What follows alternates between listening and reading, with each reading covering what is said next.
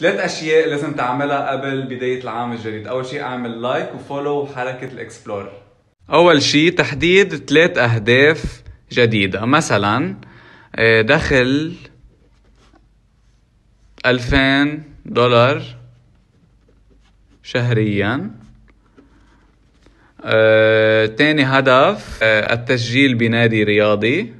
ثالث هدف الحصول على بشرة نضرة تاني شي تحديد ثلاث عادات سلبية يجب التخلص منها.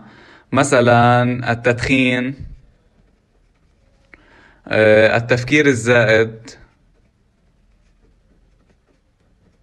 آه، أكل السكر وهيك.